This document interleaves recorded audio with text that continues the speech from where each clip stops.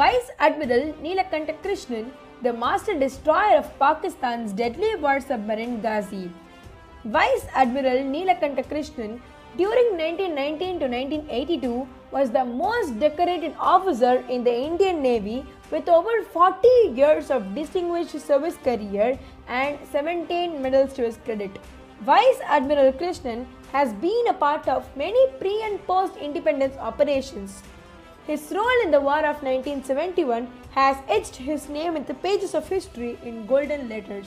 Vice Admiral Krishnan was born as the youngest son of Rao Bahadur Mahadeva Neelakanta Iyer, who worked as an executive engineer.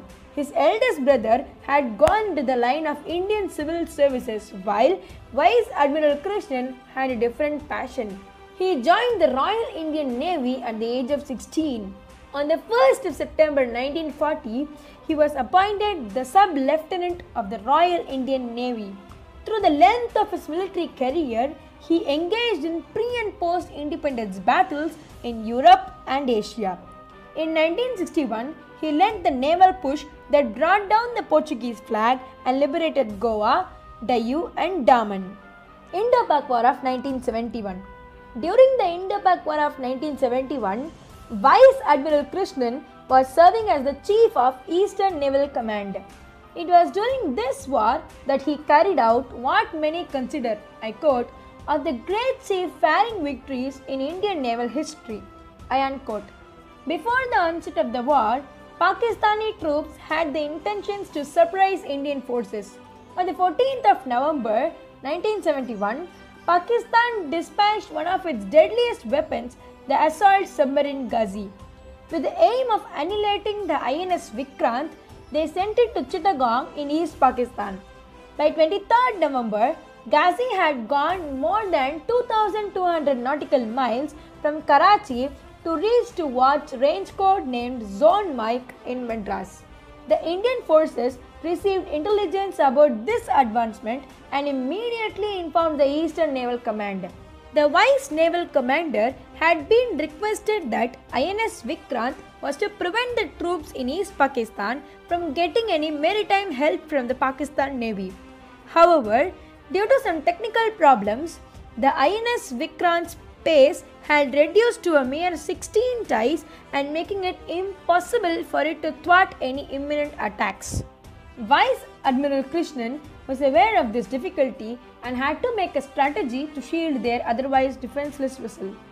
The subsequent plan he came up with was ingenious and would set a staggering record in naval history for years to come. He summoned the captain of the maturing INS Rajput, Lieutenant Commander Inder Singh. His ship was at the time being sent to Vizag to be decommissioned. That is, until Vice Admiral Krishnan gave him a monumental task. He instructed Singh to cruise 160 miles out of Vizag harbor and create a substantial remote movement which would give four submarine a feeling that INS Vikrant, its prime goal, was in the close region. To confuse the enemy further, he requested an enormous amount of meat and vegetables. He then ordered INS Vikrant and her escorts to cruise into X-ray, a mystery palm-fronted safe haven in the Andaman Islands almost 1000 miles away. Pakistani fell for the trap and prepared to dispatch Ghazi against INS Vikrant. In the late hours of 3rd December, reports indicated an inward blast occurred in the forward area of Ghazi where torpedoes and mines were kept. Subsequently, Ghazi, one of the Pakistan's greatest weapons, sank, inflicting no damage on the Indian vessel. For his remarkable strategy, he was awarded the Padma Bhushan. Admiral Krishnan retired from the Indian Navy in 1976. He was one of the only two Indians who were awarded the Distinguished Service Cross. He received the award in 1942 for courage, enterprise, and devotion to duty in operations in the Persian Gulf. He also received the Param Vishisht Seva Medal, which is awarded in recognition of peacetime service of the most exceptional order. He met his natural death in January 1982. Jai Hind.